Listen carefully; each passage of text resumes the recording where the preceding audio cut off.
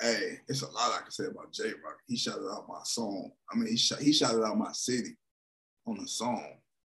Real Bloods. Shout out to uh, Jay Rock for shouting out my city, Flint. He shouted out Beecher.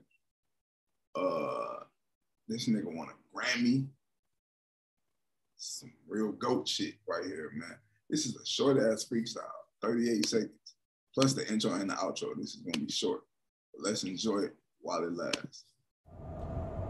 I'm a liberal. And on top of that, this is 10 years old. This is from 2010. I don't remember this shit at all. I was 18. I'm a lyrical disease infested MC. Bring your best three, I eat them like Nookie and give them hysterectomies. It's my destiny to bring a plague to you. Feel the rage of a fire breathing reptilian with a red rag in my right pocket, aiming at civilians if they plan to. A lot of niggas don't know Bloods is to the right. A lot of niggas don't know that. A lot of niggas think they to the left. They get them mixed up with P Stones and Vice Lords. I think uh, P Stone started in Chicago, if I'm not mistaken. And they rock they shit to the left. But P Stones in LA are considered blood. So I don't know how they rock their shit. But uh yeah. Watch it, fry your optics with frightening objects under surveillance of federal agents. Catastrophic as breakfast with Satan, I'll be waiting. Nigga was on some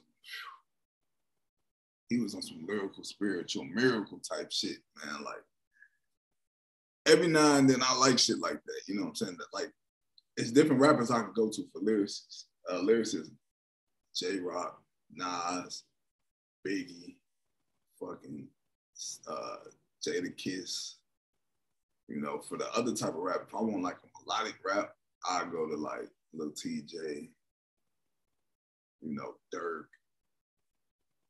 Uh, Polo G can get lyrical and he can be on the melodic wave, you know what I'm saying? He's that in the middle, just like a uh, Trippie Redd. But if you want some real lyrical West Coast shit, Jay Rock, Game, just real bar spitter, man. Spitters, man. Both of them. Shout out to Jay Rock and Game, man.